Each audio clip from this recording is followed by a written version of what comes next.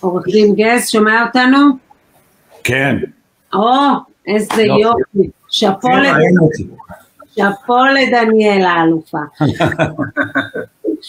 טוב, אה, תראה, בריף קצר, אני אגיד לך רק משהו אחד, כי בתקופה האחרונה שמענו, אוקיי, אז אה, ניר חפץ אומר שהאתר לא היה עוין, אז קמה טענה, באה ואמרה, אוקיי, אז, אה, אז, אז, אז באמת האתר אולי היה עוין, אבל יש טענה אחרת שהמודעות של נתניהו הייתה שהוא אה, יקבל סיקור חיובי, ואז בא היום חפץ ואומר דבר נורא פשוט, הוא אומר, לא עלה בדעתי ולא בדעתו של נתניהו, שאנחנו עושים משהו שהוא לא חוקי, או שבכלל אנחנו עושים איזשהו עניין שהם נותנים לנו כאילו סיקור חיובי. זאת אומרת, הוא שומט את הקרקע גם מבחינת המודעות של נתניהו. הוא יכול בכלל לעשות את זה? הוא יכול לשמוט את הקרקע? כנרת, בוא נתחיל מבראשית. אוקיי. אני שומע את כל הפרשנים לגבי משפטו של ביבי נתניהו, והגעתי למסקנה המאוד פשוטה שתלוי מי השואל ומי הנשאל, לצערי הרב. אנחנו פה צריכים לנתח ניתוח משפטי, ומה שקורה לאחרונה זה מתנגדי ביבי יגידו לך העדויות יציפות, המשפט לא קורס ולהפך והמתגע הפרקליטות ויהיה חפץ נתן את הסחורה. וכשאת שואלת את uh, תומכי ביבי העדות קורסת וכבר אין, אף אחד לא מאמין לו ולא מאמין לאף אחד.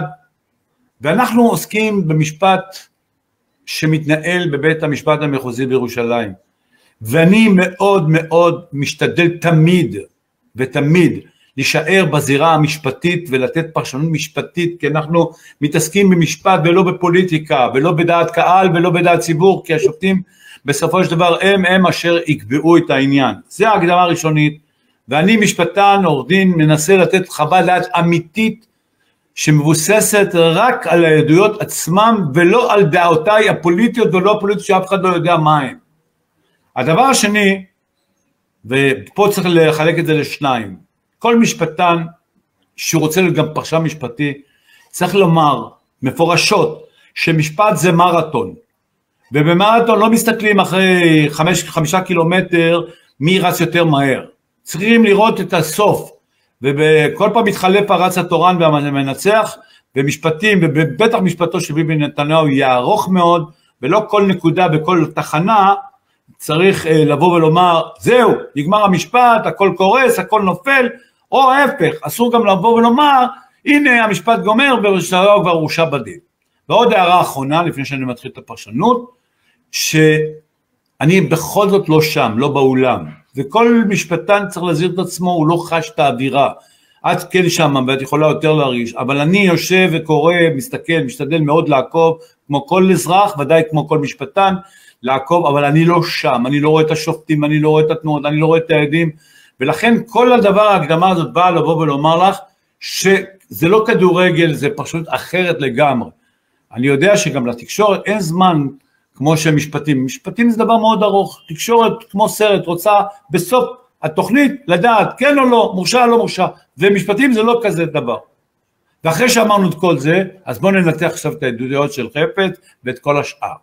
תראו, אני מחכה וכל הזמן מבטיחים לי שיום אחד יראו את הציר הזה של מה ביבי נתניהו נתן תמורת הסקירה החיובית, אם בכלל היא הייתה. אני לא רואה אבק, התחלה, מלכתחילה סברתי, כמשפטן, שתיק 4000 לא היה צריך להיות מוגש לעולם. לא חשבתי שאת הטסקס צריך לעשות דווקא על גבו של ראש ממשלה מכהן.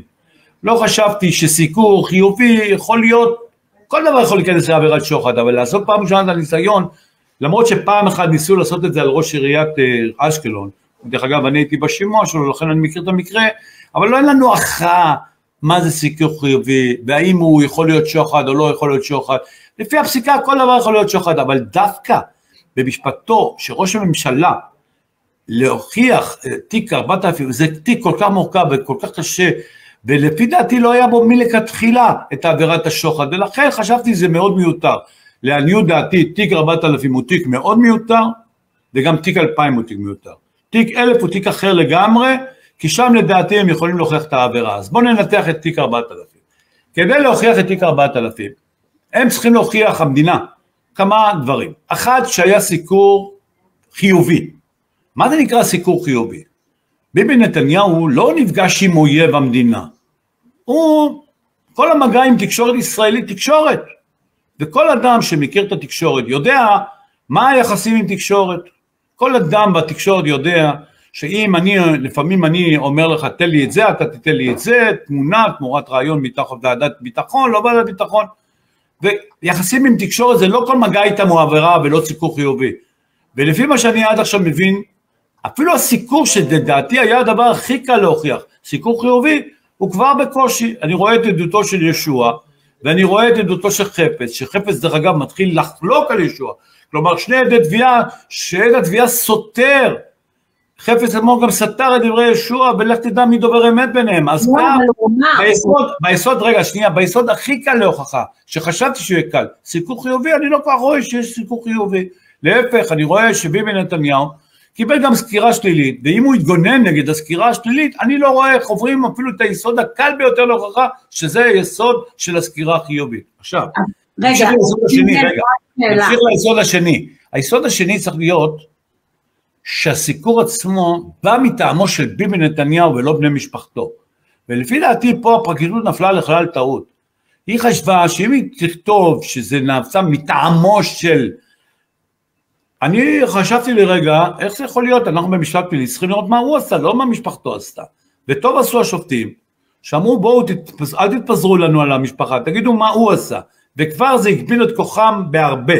ולכן אם יאיר או שרה ביקשו, זה לא ביבי נתניהו, למרות שגם אם הוא ידע או לא מודע בדבר הזה, אין להם התקדמות, ולכן זה צריך להיות מטעמו וגם את היסוד הזה לא, לא הוכיחו. עכשיו, אחרי הדבר הזה, צריך להוכיח שלא הייתה פה עקיפה בררנית, כלומר שרק הוא ביקש, והנה אנחנו שומעים שגם זה ביקש וגם זה ביקש, ואני לא רוצה לפגוע באנשים, אז יבואו ויגידו שהכמות פה יותר גבוהה, אבל אני לא חושב שהכמות יכולה פה להפוך לאיכות. עד לפה עוד היסודות יחסית הקלים להוכחה, אבל אני, ובאמת פה אני מתפלא כמשפטן, לא ראיתי את הנתינה, צריך לזכור, ביבי נתניהו קיבל כאילו סקירה חיובית, הוא צריך לתת משהו או להיות אמור לתת משהו. באה המדינה ואומרת, הוא נתן טובות אה, רגולטיביות בסכום של למעלה מיליארד שקל לאלוביץ', הוא עצמו נתן. איפה זה? אז המדינה אומרת לי, אין אקדח מעל, איפה הנתינה שלו? איפה משהו שהוא אמר, אני ידע או נתן או עשה איזה תמורת הסיקור? הקשר הסיבתי הזה לא היה אותו מההתחלה. החתימות שחתמו שם, האנשים שנתנו את הטובות האלה, בכלל לא קשור לביבי נתניהו, היו שם דברים ענייניים, ואני לא רואה איך המדינה מוכיחה את זה, וכל אלה אומרים לי זה העד הבא, זה העד הבא. אז החפץ היה אמור לתת את זה, ואני לא ראיתי שהוא נתן את זה, אז באים ואומרים זה פאזל, אבל גם בפאזל, אם אין את החלק העיקרי, אין פאזל, אין פאזל, אז יבואו ואמרו, זה לא אקדח המעשן, זה התמונה הכללית. אני גם לא, בתמונה הכללית, זה מילה כללית מדי, אני רוצה לראות איך זה מצטרף, מי נותן להם את זה? שיקום המדינה, יעשו מסיבת עיתונאים ויסבירו לי איפה היסוד הזה. אז אם פילבר לא ייתן להם את זה, ואני לא כל כך רואה שהוא נותן להם את זה, אני לא רואה איך מוכיחים שאדון נתניהו, ראש הממשלה לשעבר, כשנתן לה את הטובות הרגולטיביות, אם הוא נתן, עשה את זה תמורת הסיקור, איפה הקשר הסיבתי הזה? ואם אין להם את זה, ואני רק במשפטן מדבר, איפה תיק 4000? ואני לא רואה שפילבר נותן את זה, ואם פילבר לא נותן את זה, אז לדעתי אף עד אחר לא נותן להם את זה. אלא אם אני טועה ויש מישהו, איזה עכברון בשרוול קלף סודי שלא ניתן, אבל אני בודק ועוקב כמשפטן אחרי התיק הזה ואני מצטער, אין להם, לדעתי, אין להם ולא היה להם את זה. אז אם יום אחד יבואו כמה עדים ויגידו הנה, ידענו, משהו אחר לגמרי, אבל לי הבטיחו שאו חפץ או השני, פילבר ייתן את זה, חפץ לא נתן להם את זה, הוא אפילו לא רמז על זה, ולכן אני לא רואה איך מוכרים את תיק 4000, ואם פילבר לא ייתן את זה, מה שנראה לי לעין, אני חושב שטוב שעשה המדינה, אם היא תודה שתיק 4000 הוגש בטעות. ותאמיני לי, כנרת, אני לא נגד ביבי ולא בעד ביבי, אני כמשפטן מדבר, כסניגור, אני רוצה לשמוע שמישהו יישב ויסבירו לי למה הוגשתי תיק 4000, לא לי, למדינה. ולמה העמידו דין אדם שכיהן כראש ממשלה, יכול להיות שזו הייתה השפעה על הבוחר, ויכול להיות שפה מישהו יתערב בהתערבות פוליטית, ואני לא מאשים את המדינה בהתערבות פוליטית, חלילה וחס. למה לא? לא, לא אני, כי אני לא חושב שהפרקליטות שלנו, הנה פה למשל, אני ממש אגיד לך דברים שאתם לא תאהבו לשמוע, ו... לא, זה לא אתם. אני, לא אומר, אני לא אומר דברים שאתם צריכים או אוהבים או לא אוהבים לשמוע. לא, זה לא עניין, אני שואלת שאלה. אני אגיד לך למה לא, אני אגיד לך למה לא. אני אגיד לך למה לא. קודם כל, אני אגיד לך שאין לנו פרקליטות פוליטית. אני נלחם איתם המון שנים. את לא יכולה להאשים אותי באהדת יתר לפרקליטות או מגן עליהם. להפך, אני כל הזמן תוקף שצריך לתקוף. אין לנו פרקליטות פוליטית ויש לנו פרקליטות שחוש... שבטוחה שהיא עושה את העבודה שלה נאמנה ואני מאמין שהם כן מאמינים שיש להם תיק. אף אחד פה לא ישב ואמר בוא נגיש את התיק הזה למרות שאין לנו תיק כי אנחנו לא רוצים אותו מכהן. רבותיי, לשכוח מזה. למה? אין לנו, רגע, אין לנו, ואני אגיד לך, היועץ המשפטי, שנייה, שנייה כנרת, היועץ המשפטי, ידעתי שפה תגיבי קשה, ולכן אני אומר לך, היועץ המשפטי שלנו הוא בטח לא שמאל, בוא נזכור מאיזה בית הוא גדל, איזה בית הוא גדל בו, רגע, איזה גדל, בית הוא גדל, ומי מינה אותו, ראש הממשלה מינה אותו, לא אני ולא את, והוא לא איש שמאל א', ב', אני לא חושב שעשרים פרקליטים יביעו דעות, הרי אם היה, אם שמאל מנהל, זה היה דולף לנו לתקשורת. יש אחד שמביע. הכי חשוב, רגע. נזרי. רגע, שנייה, אבל הכי חשוב, הרי אנחנו לא מהפרקליטות יש לנו הרשעה ישר, הם צריכים לעבור את ההרשעה, הם צריכים לעבור את בית המשפט, הם צריכים שבית משפט יאשר את ההרשעה הזאת, ולכן שיקולים פוליטיים לא יכולים להיות אף פעם פה, כי הם צריכים לעבור את זה, מישהו צריך לקבל את הדעה שלהם, שלושה שופטים בישראל, אלא אם תגידי שגם בית משפט פוליטי, שלושה שופטים בישראל צריכים לקבל את דעתם, הם לוקחים פה סיכון מאוד גבוה. אבל מכל הסיבות האלה, רגע, מכל הסיבות האלה, שהם לא אנשים, בטח לא בשמאל, בטח לא 20 איש, ובטח הם צריכים לעבור את בית המשפט, רבותיי, תשכחו מזה, זה לא פוליטית, אף אחד פה לא התערבות פוליטית, ואני לא, רגע, אני לא אוהב את מה שעושה המחנה הזה, שכל היום אומרים פוליטי, פוליטי, אתם מחמיצים את הפואנטה. רגע, אז אני לא פוליטי, אף אחד פה לא פוליטי. עורך דין גז, אני רוצה לשאול שאלה.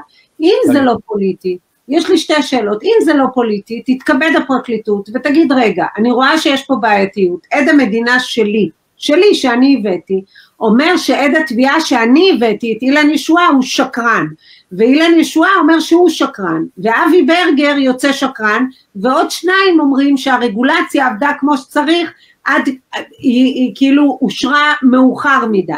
וכשאתה רואה את כל המכלול הזה, פרקליטות הוגנת, הייתה קמה ואומרת, חבר'ה, רבותיי, אני רואה שיש פה בעיה, אני מבקשת שנייה לקחת, לעשות סיעור מוחות, לחזור לשולחן, לשולחן העגול שלנו במשרדים בסלאח א-דין, ממש מעבר לכביש, תנו לנו שבוע, תנו לנו שבועיים לעשות סיעור מוחות, לראות איפה טעינו, אם טעינו, ואם אנחנו רוצים להמשיך את זה, כי יש לנו פה בעיה. עכשיו, כשאתה שומע ביחד עם זה את האמירה של היועץ המשפטי לממשלה, שהודלפה לערוץ 12, אתה לא חושב שיש כאן בעיה? זה לא קשור לימין ושמאל, זה קשור נגד אדם ספציפי מיוחד. זה, כתב האישום הוא לא נגד הימין, כתב האישום הוא נגד בנימין נתניהו. כשאתה שומע את, את מנדלבליט, פלוס מה שאני אומרת לך עכשיו, שום חשיבה מחדש, אי אפשר רגע לעצור? קודם כל אני שמח שאת אומרת שכתב האישום הוא לא נגד הימין, כי זה בניגוד לדעתו של ראש הממשלה. ראש הממשלה שלך לשעבר אומר שכתב האישום הוא נגד כל הימין. אני לא... דרך אגב, כל ה... רגע, שנייה, שתדעי כנרת מה אמרת כרגע. את אמרת משהו מהפכני, רגע, כל הימין, שמעתי את כל אנשי הימין, תמיד אומרים זה לא כתב אישום נגד ראש הממשלה, זה נגד אה, ראש הממשלה, ואני שמח שאת אומרת את זה, כי לדעתי את צודקת. זה כתב אישום נגד רק ראש הממשלה, זה לא נגד... אני אפתור לך את הסתירה הזאת. הנה, אתה רואה, מישהו חולק עליי? רק לפתור לך את הסתירה הזאת, שנייה. אני אסביר מה שכנרת אמרה ומה שאתה אומר ואיך זה הכל משתלב ביחד. רגע, תראו לי, אבל תן לי רגע לענות. לא, לא, אבל אני אוסיף לך משהו ואז תענה לשנינו. שנייה אחת, כן. שנייה אחת. אני אומר, מה הטענה היא בעצם? אמנם הכתב היה נגד בנימין נתניהו, אבל בנימין נתניהו בתור אבן הראשה של הימין. כשבנימין נתניהו נופל, אז הימין באופן טבעי, את התוצאות אנחנו רואים עכשיו, א', ב', אמרת, אבל הם צריכים עוד לעבור הרשעה. זה נכון, אבל כמו שאמרת, זה יקרה עוד המון שנים, בינתיים את מטרתם הם השיגו, בינתיים יש לנו ממשלה שהיא רחוקה מאוד מממשלת ימין. את המטרה הזאת הושג, ולולא כתב האישום, שלא היה צריך מוגש, להיות מוגש לטענתך, אז אנחנו לא היינו במצב הזה היום, בוודאות. תראה, קודם כל, אני נותן לך הערת ביניים. אני לא בטוח שכתב האישום הזה הוריד מנדטים מראש הממשלה. שיום אחד יחקרו ויבדקו את זה, אני בנוח, אני לא יודע, עד היום אף אחד לא עשה סקר כזה. לא, לא, לא, רגע, שנייה, מעניין אותי לדעת, אני רוצה להגיד לכם, אותי מעניין, ואני לא איש פוליטי, אבל מעניין לעשות סקר, האם כתב האישום השפיע לרעה או לטעה, אני לא בטוח. אני יודע שכולם יגידו את זה, בטח, אבל היו, יש כאלה שדווקא להפך, שכתב האישום, הרדיפה הזאת, עשתה לו יותר טוב ויותר רע, אבל זה לא מה, אני לא רוצה להתעסק בתחום הפוליטי. אז אני אגיד לך כמה דברים. קודם כל, לגבי העניין הזה של אה, ימין ושמאל ולגבי כל הכתבי אישום. אני אענה לך קודם לשאלה. נכון שהמשפט הוא ארוך, אבל אתה חושב לרגע, מה יקרה מה הפרקליטות, מה יקרה לפרקליטות באופן כללי אם, אם הוא יזוכה? אתה חושב שהם לא לוקחים סיכון כזה? אפילו שזה עוד כמה שנים, ואתה יכול לומר, הם כבר לא יהיו בתפקידים האלה. אתה מניח שיהיה איזה פרקליט שירצה לעמוד בדבר הזה, שהוא העמיד ראש הממשלה לדין על אה, דבר שבסוף הוא זוכה מזה? אני, אני בטוח, אני, אני בטוח שאף אחד לא רוצה להיות שם. הרי מה הם עושים? בואו בוא נחשוב רגע הגיונית, כולנו הרי עם היגיון וכולנו עניינים עם uh, התועלת, התועלת. איזה תועלת יצא לפרקליט שהחליט שאם ראש הממשלה לא מתאים לו פוליטית, אז הוא יסכן את המקצועית שלו, ואף אחד לא ידע בכלל שהוא עשה את זה בגלל שזה לא מתאים לו פוליטית. אני אענה לך, אני רוצה, לא, הנקודה הזאת, תן לי שנייה את רגע, רגע, שנייה, שנייה. שנייה, אני רק מה שאמרת עכשיו, הם לא חשבו שאנחנו נגיע לבית המשפט. כאשר גייסו שלושה עדי מדינה מהסביבה הקרובה ביותר של נתניהו, והיום אנחנו יודעים שהם גייסו את חפץ למרות שלא היה לו מה לתת להם, אבל גייסו שלושה עדי מדינה, שלושה ימים אחרי זה פרסם כבוד השופט טרשנוב מאמר שאמר, לו אני מנדלבליט קורא לנתניהו ואומר לו תפרוש בכבוד, הצטבר חומר, האנשים הכי קרובים שלך מעידים נגדך, תפרוש. אף אחד שם לא העלה בדעתו שאנחנו נהיה ברגע המכונן הזה שאנחנו נמצאים בו עכשיו. היו בטוחים שכל בן אדם סביר כל בן אדם יפרוש מול העוצמה של מה שהעמידו בפניו. זה לא קרה. תראה, אתה צריך לקחת נקודת מוצא שהם 20 איש, חלק היו אומרים את הדבר הכי פשוט, ואם כן הוא ינהל את התיק עד הסוף, הוא לא יפרוש. אנחנו מכירים, דרך אגב, גם בזה, אם זה נכון מה שאתה אומר, הנה, אבל בזה, רגע, דקה, גם בזה, לא יכול להיות הגיוני בחיים, קודם כל מי שמכיר את ביבי נתניהו, הוא יודע שהוא יכול לקחת סיכונים והוא ימשיך ועד הסוף, אבל לא על זה.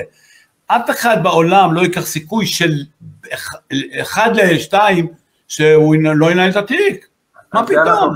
לא, בטח שהוא כן ינהל את התיק. רגע, לכן עזוב, אני מכיר את השיקולים האלה. תראה, הפרקליטות לא פוליטית, אבל אני אגיד לך משהו יותר מסוכן מפוליטי. אני אגיד לך מה יותר מסוכן מפוליטי. אה, ופה יש לי ביקורת קשה על הפרק, הם פול, אנשים ישרים שבאים לעבודה, ואני יודע שכנרת עכשיו תצחק. לא, לא, לא נכון, אני... הם באים לעבודה, כנרת, הם באים לעבודה, הם מאמינים בתיק, לא. הם האמינו בתיק לפחות, ועכשיו אני אגיד לך משהו אחר, ואת זה צריך גם את זה לא להגיד. לא כולם. לא, הם, מי ש... לא, לא חשוב, הדעת הרוב הייתה להגיש את הבישול. היה אחד שהתנגד, היה רז נזרי שהתנגד לשוחד, אבל כל השאר כן, אה, הם האמינו בתיק. תראה, אני אגיד לך את הבעיה. יש לי שתי בעיות עם הפרקליטות, בעיות קשות. יותר מפוליטי. פוליטי, תלכו אתם לשם, הם לא פוליטיים והם כן נשארים. אבל, יש שתי דברים שאני מאוד מאוד מוטרד מהפרקליטות, תמיד, כל חייהם. א', הם לא יודעים להודות בטעויות. וזה בעיה. בעיה קשה מאוד. אני יכול להגיד לך שהפרקליטות אה, לא יודעת בקריירה שלי לבוא ולהגיד טעינו, בואו ניקח אחריות. אין להם את המבט הפנימי. הם מלאי כוח, הם מלאי כוח, אין, אין גוף כזה חזק במדינה הזאת. תראה, הקימו פעם אה, מבקרת לפרקליטות שכתבה דוח חריף, ואיפה אנחנו, רגע, איפה אנחנו נמצאים היום? אין מבקרת, פיטרו, היא לא שמה, וגם את הדוח שלה אף אחד לא קרא. אסור, אין, אין, אין משהו יותר חזק, אין משהו יותר כוחני מיה. ואני לא רוצה להגיד לכם מה הכוח, רגע, מה הכוח מדי? ססי, ססי, הם לקחו, בגלל הביקורת הקשה שלה כנגד הפרקליטות, הם דאגו שצו, אה, שיהיה איסור פרסום על הדוח שלה. נכון, נכון, והם אני עשו אומר, לה חיסול, שי. ניצן, נכון. ניצן עשה לה חיסול אבל זה לא. פוליטי, רגע, אבל זה לא פוליטי, זה כוח מדי. עזוב לא פוליטי, עזוב רגע, לא זה לא פוליטי, אף אחד לא יודע מה הדעות לא שלה ולא, אז זה הדבר ראשון. דבר השני שיותר מסוכן בפרקליטות, שהם באמת, מבחינת תום לב ויושר שלהם, הם נורא מאמינים שהם בני האור, ושכל השאר בני החושך. ואני לא אכנס לזה, זו שאלה קשה, איך זה קרה בהיסטוריה, אולי בגלל שבאמת היו תקופות של מדינות, שמדינות שהיו ממשלות, אולי כן חשבו שהן אה, מושחתות ולא מושחתות, ככל, ש, ככל שהרשויות המבצעות היו יותר מושחתות, בית המשפט סבר יותר כוח וכוח בהיסטוריה, והפרקליטות יחד עם בתי המשפט מאמינים שהם בני האור, זה טוב שהם מאמינים ככה, אבל גם בני האור יכולים לטעות, ולא כל העולם שבא ומבקר אותם נהיה בני החושך. זה, זה כל ה... ולכן אה, הם יכולים לעשות את הטעויות המתאימות. המחשבה הזאת שהם הצודקים מפחידה אותי, לא תמיד אתם צודקים, קחו ביקורת, קחו ביקורת. קחו את מה שאני אומר לכם היום, קחו את מה שאני אומר לכם היום, ואל תגידו עוד סניגור אומר את הדברים האלה.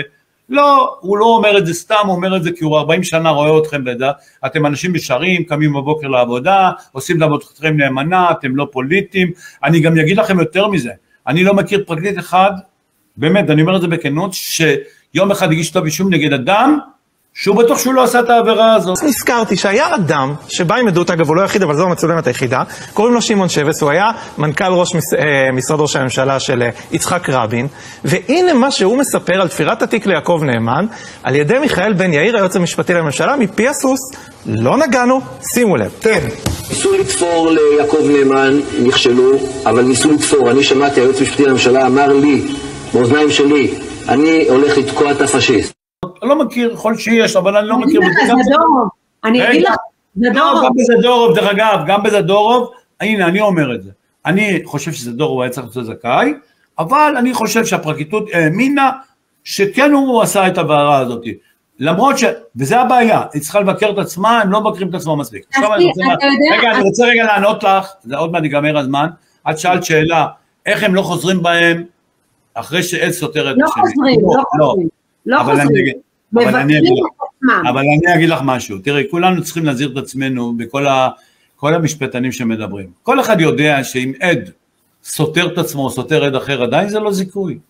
יש לנו את הלכת מריליה המפורסמת, בית משפט תמיד יכול לומר, אה, זה בזה הוא שיקר ובזה הוא לא שיקר, גרעין, יש להם גרעין האמת, הדברים שלו אמיתית, אז זה שחפץ אה, מבקר את אה, אדון אה, ישוע בחלק מסוים ואומר פה הוא שיקר, זה לא הופך לו את זה לשקרן בעיני בית משפט ולא איזה שקרן, ואני מציע, רגע, ואני מציע, ואני השופט מציע, רגע, אני מציע, אני מציע שלא, אני מציע שלא כל פעם נראה את הפנס ונעיר אותו במקום הנוח לנו, לראות איפה פה יש סקר, לא, לא, משפטים זה דבר ארוך, ויכול להיות ש... אה, תראי, יכול מאוד להיות, אותי יותר, אז עורך דין גז, השופט ברעם אמר לעד המדינה, לעד התביעה, אילן נכון. ישועה, אדוני ירים את היד מתי הוא דובר אמת ומתי דבר שקר. זה לא עכשיו נכון, שאנחנו וזאת, מנסים... וזאת הערה משמעותית מאוד, אבל כמה תיקים ניהלתי בחיים שלי, ששופטים אמרו לעד, אתה שקרן, משקר, יותר חמור מזה, העירו ברמזים ולא ברמזים, ובסוף הרשיעו, גם זה יכול לקרות, וזה גם, יכולים להגיד, הוא שיקר בקטע הזה, אבל ישוע בקטעים שחיזק את עצמו, הם יכולים, אני כבר אגיד לך על ישוע מה הם יגידו, שהם יזהירו את עצמם שכל דבר שלא מלווה בסמסים או בהודעות, הם לא ימהרו להאמין לו. וישוע הם יגידו, לגביו הם יגידו ככה, אנחנו אה, אה, מקבלים את, מקבלים, אני לא יודע מה יהיה, אבל אנחנו נלווה את עדותו עם דברים שיסייעו לו או לא. כמו לך אחד. משהו. אני רוצה להגיד משהו על תרגיל רגע. רק משהו קטן, עורך דין גז, העדות של אילן ישועה בחקירה הראשית היא הייתה ממה שהוא אמר בעל פה, אבל עורך דין בן צור סתר לו את כל התזה, את כל התזה הוא סתר לו דרך הראיות שהוא הציג לו שהם המסרונים. זאת אומרת, כמו שאתה אמרת עכשיו, מה שיותר תופס זה ראיות מאשר אמירה שלו, בטח כששופט אומר עליו שהוא צריך להרים את היד כשהוא דובר אמת, ובטח שעד אחר אומר שהוא שקרן. אז צריך, וגם כשהעד עצמו, גם אילן ישועה אמר שיקרתי אבל אני לא שקרן. זאת אומרת כנרת, את בעצמך משתמשת בביטויים שכבר הם שיפוטיים בעיניי. למה? לבוא ולהגיד הוא סתר, רגע, את אומרת הוא סתר, את אומרת דברים שאתה יודע, זה בית משפט צריך לכתוב אותם, לא אני ולא את אומרים אותם. אני. יכול להגיד לה, רגע, מה זה הוא סתר? הוא לא- סתר, אני לא מגן על אה, חפץ, אני לא הייתי מאמין לשני העדים האלה. אני חושב שבכלל בואי נוסיף הם עדי מדינה, ועדי מדינה לא בדיוק האמת הוא לגבי, מי שעד מדינה הוא לא בדיוק רואה את האור, הוא לא, קם, הוא לא חסיד ברסלב, והוא לא בא קם בבוקר להגיד את האמת, וכל מילה שאומרת מדינה תמיד צריך להיות מסויג, כי לא האמת לפניו. ואני אגיד לך עוד מזה, אני אגיד לך יותר מזה, יש פה שתי דברים שנורא הטרידו אותי כשקראתי את התיק. קודם כל העובדה שחפץ מקליט, בעיניי זה דבר נורא, מה אתה מקליט? אתה איש אמון. כמו שעורכי דין לא מקליטים, ואסור לנו להקליט, אני לא הקלטתי בחיים בן אדם, כך איש אמון לא צריך להקליט, ואולי הגיע הזמן לסדר את זה בחקיקה. לא יכול להיות שכל שיחה שאני מדבר עם מזכיר שלי, או ראש הממשלה, צריך לפחד, אני מפחד מה יקרה, איך, איך ינהלו את המדינה. איך ינהלו את המדינה, לא כל שיחה צריכה להיות מוקלטת, את יודעת מה זה להקליט כל מילה, וצריך לדעת את זה, זה דבר מפחיד, אני מפחד שתתחיל לחשוב מי מקליט אותי מאשר לנהל את המדינה הזאת, אני אומר לפעמים משהו אוף דה רקורד, אני אומר חצי משפט, אני אומר בדיחה, יש הבדל אם ייקחו בדיחות שלי שאני שולח בוואטסאפ ויעשו את זה לאמירה, ואני אומר לך שזה מאוד לא מצא חן בעיניי, שהכל שם מוקלט והגיע הזמן לסדר את זה בחקיקה, אבל דבר שני שלא מצא חן בעיניי, אבל אני לא הופתעתי מזה, אה, אוכזבתי כרגיל, אבל לא הופתעתי, זה תרגילי החקירה המאוד מכוערים שעשו לו. עכשיו אני אגיד לך משהו על תרגילי החקירה, למרות שלא שאלת. תראי, תרגילי החקירה זה מאוד מכוערים בעיניי. אני חושב שכשאדם בא להעיד, והתוכנית היא להפוך אותו לעד מדינה על ידי תרגילים כל כך מכוערים, הם מפחידים. למה? כי אני לא בטוח שכשעושים תרגילים כאלה, אתה באמת רוצה להגיד אחרי זה את האמת. כי אתה מפחד. ואתה מנווטים אותך על ידי זה, על ידי הפחד להגיד דברים שיכולים להיות גם שקריים. אני לא מדבר על עדותו עכשיו הספציפית של העד הזה, אבל אני יכול להגיד לך שבתי משפט לצערי הרב תורמים לזה, למה? אני לא זוכר מקרה אחד שפסלו עדות של עד, הוא לא נאשם, הוא עד. עדות של אדם שעושים לו כאלה תרגילים מכוערים, אני לא זוכר, אולי היו, אני, וכשאני אומר לא זוכר זה כנראה לא היה. לא פוסלים, פוסלים עדותו, רגע, פוסלים, רגע, דקה, פוסלים עדות של נאשם, לא פוסלים. ואז מה אומרים? אני יודע מה יקרה פה. הם, אה, זה יפגע לו במהימנות, במשקל. הם יגידו, אנחנו מזהירים את עצמנו. ואני, לפי דעתי, אם בתי המשפט, וגם הפרקליטות, בתי המשפט על ידי פסילה אוטומטית של תרגילים כאלה, את כל העדות, וגם בתי המשפט, היו, גם הפרקליטות צריכים להסס אם בכלל להגיש כתב אישום על כאלה עדויות. למה? כי הוא יגיד, אני, הרי מה יגידו בפרקליטות? אני אנחנו מסכימים שהתרגילים היו נורא מכוערים. אבל הוא אומר שעדיין הוא אומר את האמת, ולכן צריך להאמין לו. אבל איזה אומר את האמת? הרי הוא יודע שאם הוא יגיד שקר, אז הוא עוד פעם יעמוד לדין. ולכן, המשפט הזה הוא משפט לא נכון לבוא להגיד אותו, ולכן אני חושב שהפרקליטות צריכה הייתה לפסול את העדויות האלה, ובית משפט צריך לתת חותמת, אין, לא כשר. כשהוא ייתן חותמת לא כשר, לא יהיו תרגילים כאלה. אני לא הופתעתי, כי הם עושים את זה תמיד. למה הם עושים את זה? כי השופטים אומרים להם נו נו נו נו נו ביד, אבל לא קורה כלום, לא לשוטרים. להפך, אותם שוטרים, תבדקי אותי. כל השוטרים שעושים את התרגילים האלה גם מתקדמים בדרגה, כי עליהם סומכים שוטרים שמלווים על ידי הפרקליטות, ססי, אתה לא יכול להתעלם מזה. הפרק, הפרקליטות פה מלווה את כל... נכון. ועומד היועץ המשפטי מנדלבליט, היועץ המשפטי מנדלבליט בספטמבר 2019, נכון. אומר, אין שחר לטענות לגבי לחץ שהופעל על ידי מדינה בתיקי דרך אגב, לדעתי מנדלבליט לא שיקר באותו זמן, לדעתי הוא לא ידע, לא קרוב מאוד. לא סיפרו על זה, אני בטוח, אותם סרטונים היו בידיו, הוא יכול היה לראות את הסרטונים שכולנו ראינו בבית המשפט. הוא, לא, הוא יכול היה לראות, זה היה חומר חקירה שהיה בידיו, ואם הוא אמר את הדבר הזה במשפט הכי חשוב בתולדות המדינה, מבלי לבדוק את החומר, על אחת כמה וכמה, שהתפטר על הדבר הנורא הזה שהוא עשה. אני, אני אגיד לך את האמת, אני לא מכיר את נשאר לו עוד הרבה אני, אני, כן, אני לא כן. חושב שהוא אדם ישר מאוד, מהחומרים של בית המשפט העליון, ובטח השאיפה שלו זה אחרי זה להיות בבית המשפט העליון, ואני כן מאמין לו, חד וחלק שהוא לא ידע על לא, התרגיל, גם תראו, אחרי הפרשיות שהיו לא, יש הבדל, לא יש. הבדל, יש הבדל איך שהוא ראה, אנחנו יודעים שהרבה מהסרטונים האלה, אני לא חושב שמנדלבליט אה, אה, ידע או היה מודע, נכון שהוא היה. צריך להיות, אז הוא שיקר. אם הוא לא ידע, אז הוא לא- שיקר. לא, הוא כי הוא עבר על אמר, חומר אני הראיות. עקבתי אחרי כל שלב בחקירה, אני נתתי אישור לכל נכון, חקירות נתניהו. נכון, נכון, אז יום אחד שמישהו ישאל אותו יותר שאלה ישירה, אחרי שראינו את התרגילים האלה, אני לא שמעתי שאף אחד שאל אותו את השאלה הזאת. הוא לא מסכים. אף אחד, הוא לא אמר לפני לא התרגילים, רגע. ועכשיו יועיל למישהו מהכתבים האלה, הוא לא או מוכן. מהמתנגדים לביבי, או מעדה ביבי, וישאל אותו, אדון ביבי, אבל הוא לא מוכן. הרי גם הפרקליטות היום מסכימה שהתרגילים האלה הם תרגילים מכוערים ולא היה צריך לבצע. לא אז איך נכון. אתה מסביר את זה, ואני לא בטוח שיהיה נכון. יש לו הסבר, אני לא רוצה להסביר במקומו את זה. עורך דין הוא גז, יודע הם יותר לא. עורך דין גז, הם לא התייחסו לתרגילים, הם לא אמרו שזה לא בסדר, ואני אגיד לך משהו, מנסים לא, לשאול... את- הם אמרו שזה לא בסדר, הם יגידו גם שזה לא בסדר. לא, לא, הם לא אמרו, הם לא אמרו. ואני אגיד לך עוד משהו, וכשמנסים, ואני יודעת שיש עיתונאים שמנסים לפנות למנדלבליט כדי לקבל ממנו תשובה על זה, והוא לא עונה להם. הוא לא עונה להם, וערוץ 12 ו-13 בכלל לא מנסים. והערוצים האחרים שמנסים, הוא לא נותן תשובה, הוא לא מסכים. התדרוך של העיתונאים מאחורי הקלעים בעניין הזה, זה שלא שואלים שאלה על זה.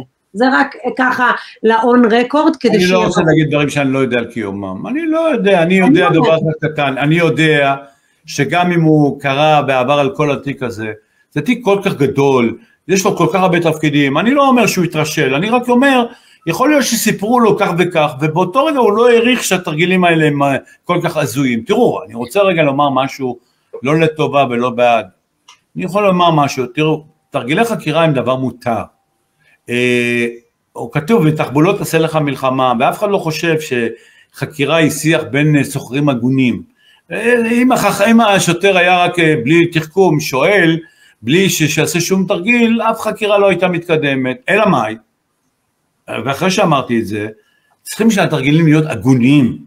אתה לא יכול לרמוז למישהו שאתה הולך להרוס אותו משפחה, להפוך אותו לעד מדינה, אתה לא יכול, אסור לך. אסור לך, והם רגילים לדברים האלה, הם עושים את זה בכל תיק, עושים, לא בכל, אבל בכל תיק גדול, אני ראיתי תרגילים יותר מאוחרים מזה. אבל מה שקורה, בית משפט עושה להם נו נו נו, נו נו נו, ולא פוסל להם את הראייה.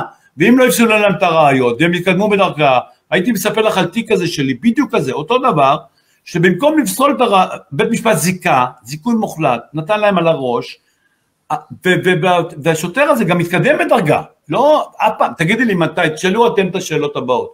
תשאלו את השאלה הבאה, מתי תרגיל מכוער מהסוג הזה, ונעשו כאלה, מישהו עמד לדין מהשוטרים? מה עשו לו? האם הוא נשאר במשטרה, לא נשאר במשטרה? ותראו, תקבלו תשובות מאוד עצובות. תקבלו תשובות מאוד עצובות, וגם לא היינו, לצערי הרב, לא היינו מתעסקים עם זה, וזה לא התיק של ראש הממשלה. כי מי רוצה להגן על, מי רוצה להגן על עבריינים? מי רוצה להגן על עבריינים? מתי, אה, כנרת בראשי, מתי חוקקו סעיף לטובת עבריינים מבחינת, אה, את יודעת, אנחנו חורגים טיפה מהדיון, אבל אני עורך דין 40 שנה, מתקשה לזכור, היה אחד, שתיים תיקונים ב, לטובתם של נאשמים. כל יום יש כרסום וכרסום אחר וכרסום אחר וכרסום אחר, כי אף אה, חבר כנסת לא יקום ויצביע משהו לטובת בני העבריינים. אנחנו רואים כרסום בזכויות, כורסים בזה, מי יש לו, אתה חי היום בחזקת החפות מפשע? יש את המשפט הזה היום שכל מי שלא לא, הוגשה לא, עדיין לא, זכאי, יש את זה? אנחנו- דקה כולנו מטפלים עליו. דין גז, אבל אנחנו במדינה דמוקרטית, אם אנחנו נגיד, אני מאמינה, אני מאמינה קנאית לחזקת החפות, כן, אני גם אומרת, אני. אני אפילו כשייצגתי בקצב, ייצגתי נגד קצב, יצאתי ואמרתי חכו ל, אה, לסוף פסוק, מי שיצא ואמר, קרא לקצב אנס סדרתי, זה היה היועץ המשפטי לממשלה מני מזוז, זה אפילו לא הייתי אני. אז אני רוצה להגיד, אני כן קנאית לחזקת החפות מאה אחוז. ברור, אבל ברור, גם אני, אני יותר ממך, אני אבל יום. אני יום יום אומר, יום יום אני אומר את המשפט הבא, יש חזקת חפות, אבל בואי תראי לי היום איך קודם כל בחקיקה, קודם כל אנחנו רואים, הציבור לא, תקשיבי, גם בציבור, אנחנו היום אנשי תקשורת, חיים מהתקשורת, אה, קשה לחכות למשפט עד הסוף, והחזקה הזאת מיום ליום מתכרסמת יותר, אדם עוד לא, את יודעת, קחי דוגמה של יום יום את רגילה מכירה בזה, אני אתן לך מה זה דוגמה לפגיעה בחזקת החפות, לא על ידי אפילו, כל התנועה הזאת, אנחנו מאמינים לך. קחי את זה, הדבר הזה, אני דווקא הולך לדרוך בשדה מוקשים. מה זה נקרא, אני, אני שומע חברת כנסת, אני שומע, לא שמעה את המתלונן, לא כלום, אני מאמינה לך, לא שמעת הנאשם, ישר, יש דבר ש... אני מאמינה לך, מה זה אני מאמינה? דיברתי איתה. את, המכיר, דיברתי עם הנאשם, מה, אני מאמינה לך, ישר, והמשפט הזה הוא קיים, וכל יום יש לנו חזקה, אין לנו זמן לחכות, לא רוצים משפטים כי זה ארוך מדי, רוצים לדעת דם, דם, רוצים דם, הפרק, בציבור, בכל, דם, אדם עוד לא, עוד לא, בכלל לא חשוד, לא נאשם, אנחנו מאמינים לרשתתים ברחוב, אנחנו, בסדר, אני גם, רוב המתלוננות צריכות להאמין להם, אבל יש גם שקרניות ויש גם כאלה מעלילות, את לא דיברת איתה, את כבר מאמינה לה, וזה, אני אתן לך עוד כמה דוגמאות, לא, יש לא, הרבה אני- דוגמאות כאלה. אני איתך בקטע הזה, ססי, אני מסכימה איתך לחלוטין, אני חושבת שחזקת החפות זה קודש קודשים של הדמוקרטיה, ומאחר וכך אני חושבת, וזו הסיבה שאני סבורה, שמבחינתי אפילו מחר, ואני אומרת לך את זה גם לא מפוזיציה פוליטית, לא משנה מי יהיה, עבאס יהיה ראש ממשלה, ויבואו ויגידו שמגישים נגדו כתב אישום, אני אגיד תחכו, לא יכול להיות שלפני שהוא מורשע אתם תזללו לו את המנדטים שהציבור בחר בו, ההתערבות הזאת, אני מסכים איתך. והסללום הזה, גם בית המשפט העליון הסכים איתך, אני גם דרך אגב הייתי גם נגד ההלכה, אני אפתיע אותך, אני גם הייתי נגד הלכת דרעי וזה ששר לא יכול להישאר שר אה, בכתב אישום, אני נורא פוחד, אה, אני מאוד פוחד מהעובדה שאתה נותן למישהו כוח, יש לנו מזל שעד היום היועצים המשפטיים היו אנשים ישרים, ניסו לתפור ליעקב נאמן, נכשלו, אבל ניסו לתפור. אני שמעתי, היועץ המשפטי לממשלה אמר לי, באוזניים שלי, אני הולך לתקוע את הפשיסט. ובעלי ידעו את העבודה שלהם, אבל אני באופן כללי פוחד נורא מהעובדה שאתה נותן לפקיד ציבור, הוא לא פקיד בדיוק היועץ המשפטי, אני לא רוצה להגיד את המילה פקיד, אבל אתה נותן למישהו שלא נבחר סמכות להדיח ראש ממשלה מכהן, אפילו בתום לב, וזה מפחיד, נכון, נכון, צריך לחשוב על זה, צריך לבדוק את זה. אני לא בטוח שהמצב של היום הוא מצב טוב, אבל ודאי שאי אפשר לתת על ידי כתב אישום אה, לזרוק אדם, אה, מתפקיד של כל הציבור בחר בו. וצריך הציבור לחשוב על בחר, איזה סוג. פטנט, סוג של פטנט איך לעשות את זה, אולי להקים ועדה, אולי, אני לא יודע, אולי החוק הצרפתי ב- בערבון מוגבל, לתת לכנסת. אני לא יודע, אבל זה. אסור שיהיה מצב כזה שאתה היום נותן, אפילו באופן תיאורטי, למישהו שיכתוב כתב אישום וירמוס באותו רגע בכתב האישום שהוא מגיש אותו את כל רצון העם. מטריד אותי, לא רוצה שכזה, ומזל שגם העליון אישר את זה, מזל שגם הפרקליטות הסכימה למצב הזה. בראש ממשלה, בואו נזכיר לכולם, יש לנו הצעת חוק. על הפרק, יש הצעת חוק של גדעון סער שהולכת בדיוק לשלול את זה. הצעה אנטי דמוקרטית. אני לא אוהב את ההצעה הזאת, אני גם לא רואה שהיא היום מתקבלת. לא אני מניח, אני מניח שאם היא תתקבל, דרך אגב, אני גם חושב שההצעה הזאת, אה, גם אם יתקבל, אז מחר אם הליכוד ינצח הוא יבטל אותה. אה, זה לא דבר ריאלי כל ה- הדבר הזה, אבל אני מסכים שזה מצב ש, ש, שבלתי אפשרי כרגע. כלומר, העובדה שאתה נותן אה, למישהו, לא הכרעה משפטית שיפוטית, אלא הכרעה של פרקליטות. אני מכיר מקרים, הרבה מקרים כאלה, שהיו כתב אישום וזוכו. אתם רוצים דוגמאות של אפילו שרים שהיו שם? אז תאר לעצמך שאתה. אתה אומר לו אל תהיה יותר ראש ממשלה, ואחרי זה הוא מזוכה, לך תחזיר את הנזק. זה שיא השיאים של פגיעה בדמוקרטיה. אבל זה, הנזק הזה הם גרמו עם כתב האישום, זו הטענה שלנו. לא, אבל מה שאתה אומר, תראה מושיק, מה שאתה אומר, תראה, כל עוד הוא לא חייב להתפטר ואפשר לבחור בו והוא יכול להתמודד, זה בסדר. מה שאתה אומר, אתה שולל את הזכות להגיש כתב אישום כנגד אדם במדינת ישראל, וזה גם לא דמוקרטי. לא, נכון. אני לא שולל, אני- לא, לא, לא, לא, אני- לא שולל את את הזכות. לא, אבל אני אשאל- להגיש אני אשאל את כולכם אני אומר שאלה. שכתב אישום אני אגיד כזה לכם צריך איפה- להיות מוגש בצורה מאוד מאוד זהירה, כן, ואחרי שנבדקו כל. הדברים, אבל אני, אבל. אבל אני אגיד לכם משהו. אני אגיד מושיק, לכם. כנגד כל אדם. אני אגיד לכם איפה כנגד הבעיה העיקרית. וכנגד מוכר בחנות פלאפל. כנרת, כנגד כנרת. כל אדם. כנרת, אני אגיד לך איפה הבעיה, למה הבעיה הזאת היא קשה מאוד במדינת ישראל? כי הגישו כתב אישום שהוא מההתחלה יש לנו במחלוקת בעם. אה, אני בתיק 4000 שומע לא רק שמאל וימין, אני שומע הרבה משפטנים מאוד מוטרדים. אבל בוא נגיד אחרת, אם זה לא היה כתב אישום במחלוקת, נגיד שראש ממשלה היה מואשם בעבירה מאוד ברורה.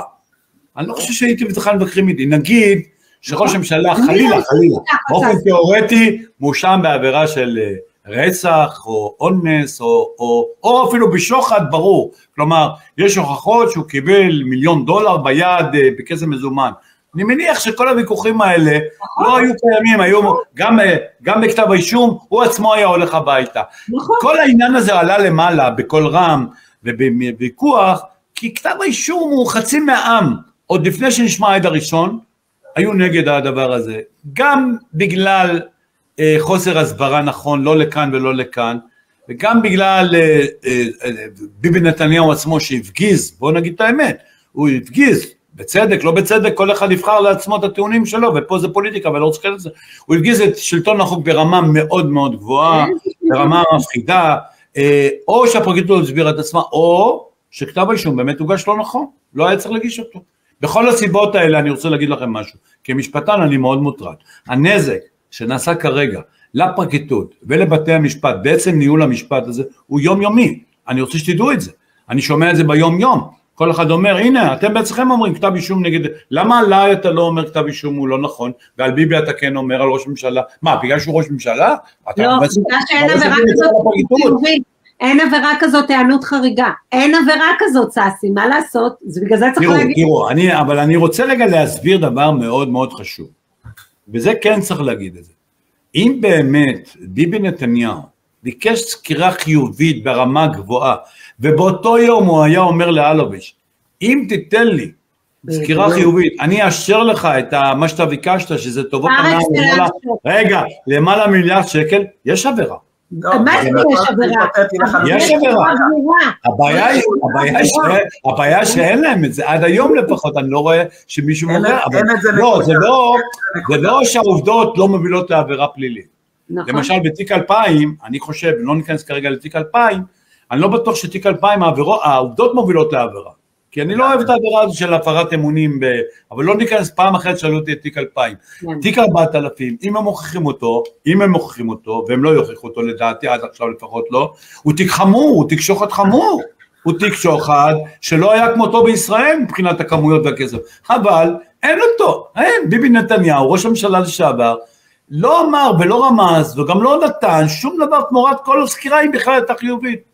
אני רוצה להגיד לך עוד משהו, עורך דין גז, אתה יודע מה כן היה פה? יש פה מסרונים, לא עדות של אף אחד, מסרונים, שפוליטיקאים רבים מקבלים ודורשים מאילן ישועה סיקור חיובי בתקופת הבחירות. זאת אומרת, שגם אם בנימין נתניהו ביקש, נניח רק ביקש. לא, לא, אבל רגע, סליחה. לא, רגע, שנייה. אם הוא ביקש סקירה חיובית, אין פה עבירה.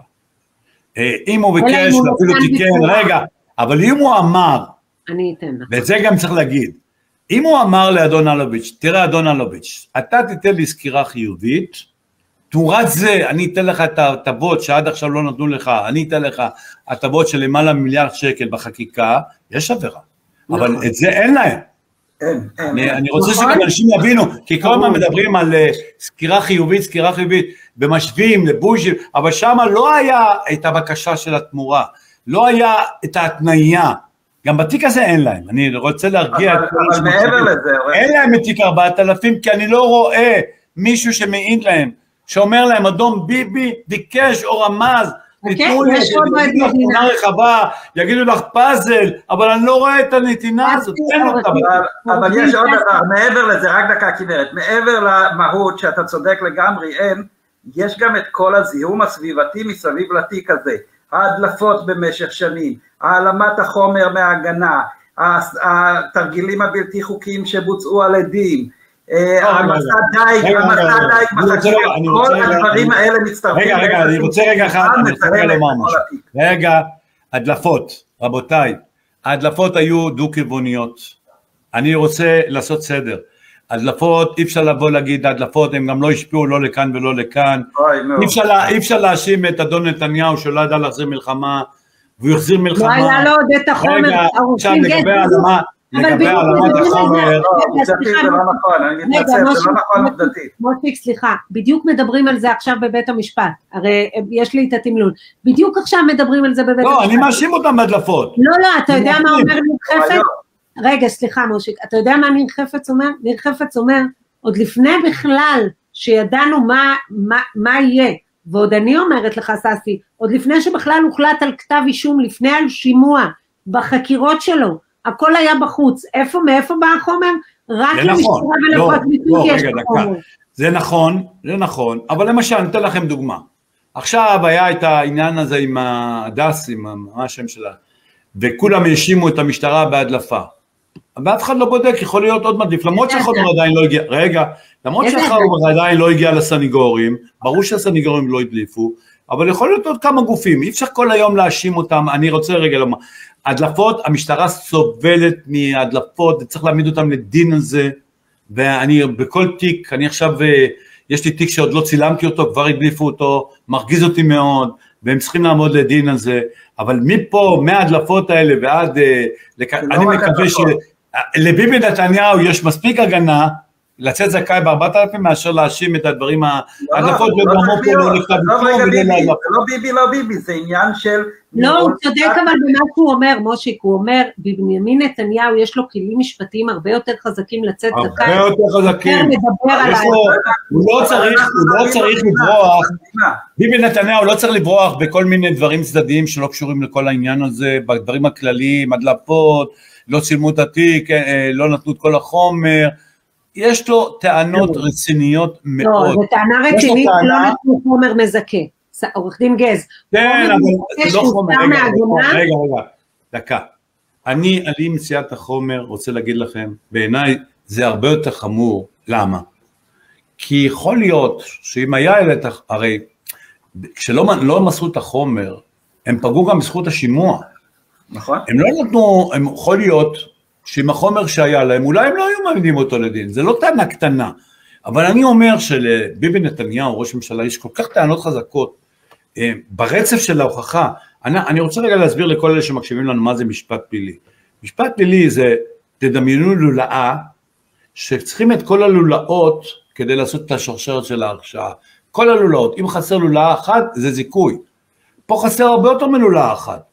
פה חסר כמה לולות. אחרי זה, אם יש את כל הלולות, צריך לבדוק אם השרשרת מחזיקה מעמד, ופה בודקים את המשקל של כל הראיות האלה. וגם זה, אם בכלל יהיה להם, אם מתפרקת, כי אתם רואים את כל העדים האלה. יש לו מספיק טענות חזקות, ולא צריך את כל העניין הזה של הדלפות, שזה, אתה לא יכול להוכיח שההדלפות האלה גרמו למשהו במשפט, ואתה לא יכול להוכיח שההדלפות היו חד צדדיות בתיק הזה. זה תיתן לטענות, אתה יודע, תן לטענות בתיקים שאין להם הרבה מה לטעון. פה יש לו הרבה מה לטעון. שיטען טענות ענייניות ומספיק חזקות. בוא, שמישהו, שמישהו היום יגיד לי, איפה הם מוכיחים שאדון ביבי ידע גם ידע שמסקרים אותו חיובית, כשהעדים לא אומרים את זה, תמורת זה שהוא ייתן להם את הטובות. איפה אחד יגיד את זה? אם יגידו לי את זה, אולי אני אפרשן את זה אחרת, אבל- אבל אבל אני לא רואה עד היום אליך. אחד שרמז על זה.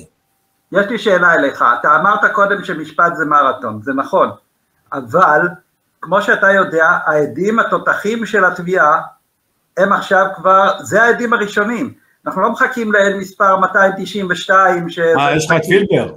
מה? בסדר. יש לך את פילבר, פילבר רואה- פילבר, אוהד. רציני, גמרנו עם העדים הרציניים אחרי פילבר. נכון. אחרי פילבר כבר לא נשארו כדורים בקנה. 200, 300 ומשהו עדים שנשארו, לא יעשו את ההבדל אם העדים האלה לא הביאו את הסחורה. נכון.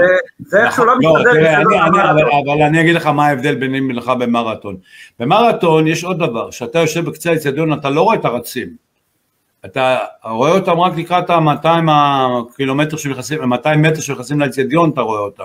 ואני במרתון עוד לא רואה את כל העדים, אנחנו לא מכירים את כל התיק, יכול להיות שעוד יבוא עוד איזה עד אלמוני או, או משהו, אני באמת לא מכיר את התיק ברמות כאלה, אני מכיר את מה שמעידים, לא את מה שלא מעידים. לכן קשה לי להגיד כרגע, אני רק אגיד דבר אחד קטן, אני לא כל כך מבין מה חפץ נתן להם, שחפץ היה עד מדינה האחרון. שתי דברים לא הבנתי, למה הם לקחו אותו לעד מדינה, אם זה מה שהוא נתן להם, הוא לא נתן להם את... אמרתי לך, ודבר? שני, לא, לא הבנתי למה הוא הפך, למה הוא הפך לעד מדינה, לפי עדותו, הוא גם לא היה בעבירת השוחד, ומקסימום היו מאשימו אותו בסוג של שיבוש בעניין של הטלפונים, אלוהים יודע. כי האשימו אותו גם בעבירה בתיק 1270 שמאז התפוגג, אבל אז עשו מזה עניין מאוד גדול, וגם כי הפשפשים משפיעים, מה לעשות? כנראה שהתרגילים האלה, אני, אני רוצה להגיד לכם, אני, אני כשראיתי את, את uh, חפץ בעדות שלו, אני לא בטוח כסניגוריו אתה היית רוצה לפסול דווקא את העדות שלו, זו שאלה. לא, אני גם לא, הייתי, לא. גם לא הייתי בטוח כל כך שהוא רוצה את... בואו, אני אתן לכם את מבטי, אבל לא הייתי במשפט, אתם רואים את זה יותר. נראה לי שהוא כזה, אתה יודע, הסתובב בין הטיפות ובין ה... אני מנתח את עדותו של פילבר ככה, במסלול הראשון שהוא נתן להם את התרגילי החקירה, במסלול הזה, בכביש הזה, הם נסעו יחד, הוא והסניגורים של אדון ביבי נתניהו, זה כביש נוח לשניהם. אה, כל התרגילים האלה היו טובים לביבי נתניהו, איזה תרגילים? התרגילים המכוערים, כלומר בזה הוא שתי פעולה מלא. הוא אמר, תרגילים מכוערים למה? לסניגורו של ביבי זה משתלם מאוד, שהסניג... שיגידו שהרצון שלו היה חלש מאוד, והוא היה מוכן לתת להם כל דבר אחרי התרגילים המכוערים. אבל הוא עד הגנה, הוא לא עד... הוא לא. הפרושים, הוא מגן עליו, ססי. מה? הוא מגן עליו, למה הוא ירצה שהעדות שלו תתבטל? הרי אתה קורא את העדות של ניר חפץ, ואתה שואל את עצמך, נכון, איפה נכון. עד מדינה? לכן אני אומר, רגע, לכן אני אומר, תראו, ניתוחו של כל, בכביש של התרגילים המכוערים, במסלול הזה, יומיים ראשונים נדמה לי שזה היה, המסלול, המסלול שלהם היה אותו דבר, הוא אפילו שיתף פעולה, הוא נחקר? למה? כי לא ל, ל, ל, לראש הממשלה לשעבר, נוח התרגילים האלה, טוב להם, למה? כי בעצם כשאתה מעיד על תרגילים כאלה, אתה אומר, בסיכומים, סניגורים יגידו, איך אתם בכלל רוצים להאמין לעד כזה, שחוץ מהשקרים שלו וכל זה, הוא נלחץ ברמות כאלה, שהוא היה מוכן להגיד להם כל דבר, אם הוא אמיתי, לא אמיתי, אחרי הפרושים שהוא עבר, ואחרי הכיעור הזה, ואחרי שאיימו להרוס את משפחתו, הוא היה מוכן למכור להם כל דבר, אמיתי, לא אמיתי, לא עניין אותו. לכן נוח היה לסניגורים. גם לאדון חפץ היה נוח, למה? א', אולי יום אחד הוא יתבע את המדינה, ונוח לו כל התרגילים המכוערים לתבוע את המדינה. וב', יותר חשוב, הוא צריך להצדיק את עצמו למה הוא יצא עד מדינה. זה לא מעמד נוח, כולנו יודעים מה זה עד מדינה בצבריות הישראלית, לצאת עד נגד הבוס שלך, וככה, בתרגילים המכוערים האלה הוא בעצם אמר לכולנו, לא יודע מה אתה היית עושה, כל אחד מאיתנו, בתרגילים המכוערים האלה, כל אחד היה נכנע. לא רציתי את זה בהתחלה, החזקתי מעמד, רציתי כן לשמור על הנאמנות שלי, אבל אחרי שעשו לי את כל זה וזה, לא היה לי ברירה אחרת. לכן, בדבר הזה הם צעדו ביחד. הם התחילו להיפרד אחרי שגמרו להקיף את כל התרגילים המכוערים, פה התחילה להיות פרידה, אבל עדיין, אני לא בטוח כי אם הייתי סניגורו של ביבי, הייתי רוצה לפסול לגמרי את העדות. לא, היום כבר הוא ברור כל כך. היה נגד. הוא גם לא ניסה, הוא גם לא ניסה לתת לגמרי, הוא, לדעתי, הוא היה במסע בין להגיד, בין להישאר עד מדינה, ואיפה שלא להזיק, לא להזיק, אבל זה רק עדותי הפרטית. טוב, עורך דין אה, ססי גז, קודם כל, אלפי אלפי תודות שעלית אצלנו, זה... אני מאוד מקווה שלמעלה או למטה כתוב, רבותיי, אני לא ביבי, אני לא נגד ביבי, ואני אף לא לא בעד שאתה ביבי, אני בעד, הנה, תקראו my lips, אני בעד האמת, אני סניגור, אני סניגור רגע, ואני גם אזרח מודאג. אני רוצה שרק האמת תצא לאור. בדיוק, אני רק רוצה להגיד לך עורך דין גז, שיש הרבה אנשי שמאל שאני מדברת איתם, שהם ממש לא בעד ביבי, ואני מדברת גם עם שני שופטים, שכולם, ושופט, ושופט לשעבר עלה פה, שופט לשעבר בדימוס עלה פה, ודיבר על ההתנהלות, ולא מדברים על כן ביבי, לא ביבי, מדברים על החוק. אנחנו לא פה בכנסת, אנחנו פה במשדר משפטי, שמסקר בדיוק את אותו הוא דבר, הוא אשר זה- רציתי להדגיש. וזה זה הכי חשוב. אז ואני תודה. לא איש שמאל, אני לא איש שמאל, אבל אני גם לא ביבי. אין שמאל כבר, יש, אתה יודע. אני לא מאמינה. הדבר הכי שהשפיע עלינו בחיים זה השמאל, ימין, שמאל. כנראה נשארנו עם זה. תודה רבה לך יקירי, תודה תודה. רבה רבה לך. תודה רבה. אה, טוב, אני את אה, עורך דין ססי גז מעריכה ומוקירה הרבה מאוד מאוד מאוד שנים, אה, הוא מלווה את מערכת המשפט הישראלית, ואני חושבת שדבריו הם דבריו חשובים מאוד לשמוע אותם, גם לפרשנות וגם לראייה הצדדית והמקצועית, כמי שעורך דין ססי גז ניהל עשרות, עם מאות אלפי תיקים במדינת ישראל בתחום הפלילי, מהכבדים ביותר, מתיקי רצח מאוד מאוד גבוהים, ולכן תמיד חשוב לשמוע את החוכמה של האנשים האלה, שיעלו פה וידברו. אה, חברים, אנחנו צריכים לתת מה זה בריף. הלו יוסי, מה נשמע, מה קורה? לא, מה שלומכם, שומעים אותי? שומעים כן, אותך. כן, האזנתי בקשב רב לעורך דין ססי גז, תמיד מרתק לשמוע את הזווית ראייה שלו, נכון. אם כי אני חושב שהוא מלמד זכות יתרה מאוד על הפרקליטות בתיק הזה, וזו זכותו. אני נכון. רק, אה, אני בא ואומר, זו זכותו המלאה, אני אישית, אין לי אה, לימוד זכות כמו שלא יש על הפרקליטות באופן כללי, כללי ודאי לא בתיק הזה.